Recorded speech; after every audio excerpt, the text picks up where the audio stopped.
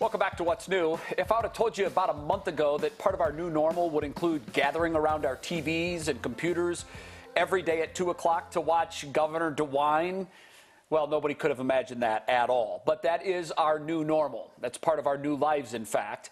And as we do that, we watch he and his awesome health director, Dr. Amy Acton, give us the latest updates on the coronavirus. So many are making this appointment viewing now that well, Mike Polk tells us wine with DeWine has become a real thing. There's actually a bit of a movement going on right now called Wine with DeWine, where Ohioans enjoy a little vino while getting the news of the day from the governor and his lovable supporting cast of characters.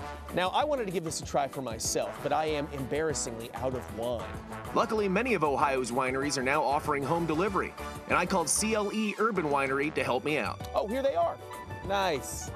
Thank you so much for joining us. I'm Destiny Burns from CLE Urban Winery, bringing happiness and joy to the neighborhoods. Thank you very much and thank you for your service. Please enjoy a promotional headshot that's absolutely free. It's been sterilized. Phenomenal. I know just where to put this in the winery. Oh, fantastic. I can't wait. All right, so I went with the Buckeye Blackberry Merlot. What a great way to unwind during a terrible, terrible situation. Mmm, smells like wine. I don't know anything about wine. Oh, he's coming up. He's coming up. There he is! Mikey D in the house!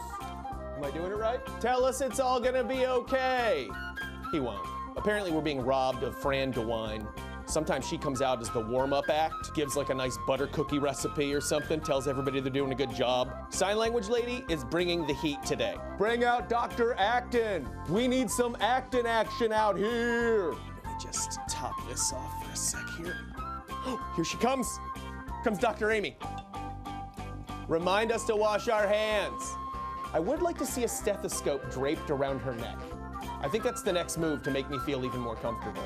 I know that some people might look down upon people drinking alone, um, but first of all, special circumstances. And secondly, I am not alone. I'm very much with company. Right, McDuff?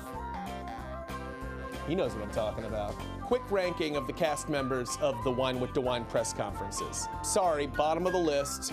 Lieutenant Governor Jon Husted. I get it, you gotta be there, whatever, but move it along, buddy. Next, Governor Mike DeWine. We wouldn't be here without you, buddy, but you don't have the star power of my top two. Next, extremely emphatic sign language lady.